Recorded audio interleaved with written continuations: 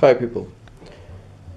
These are old full range speakers, no name, from 70s.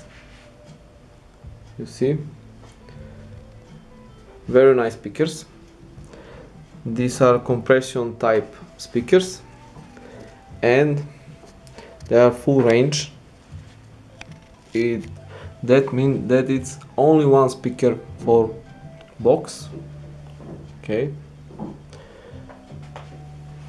No tweeters. One speaker for everything.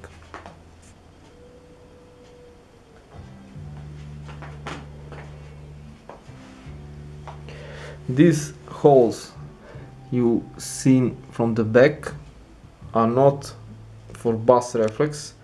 These are for this thing. This is how you opening the speakers. Very practical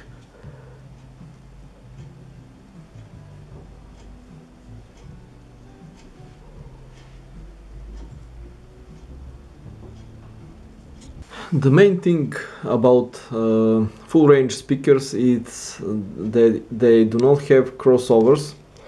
Uh, like you see the cable is directly connected to the speakers that's why the new home theater or cheap home theater system uh, use uh, full range speakers because they are cheaper to build because they do not use um, crossovers or tweeters.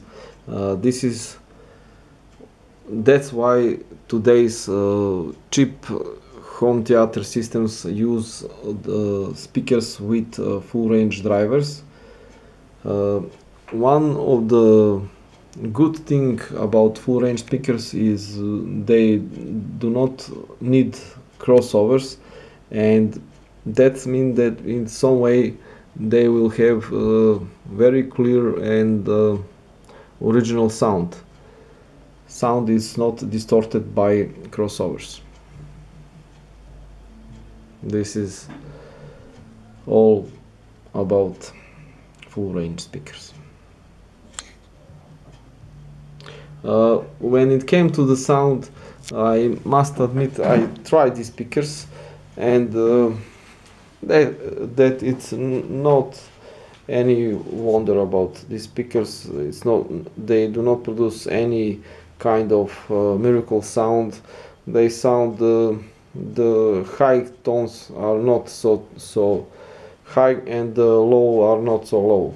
These speakers is good for uh, for if you ask me is good only for uh, middle range uh, sound middle range tones and it's very they are very good if you want to use them for your uh, home theater speaker to, to replace the cheap ones in your home theater system because they are very good for the listening the the sound of the voice.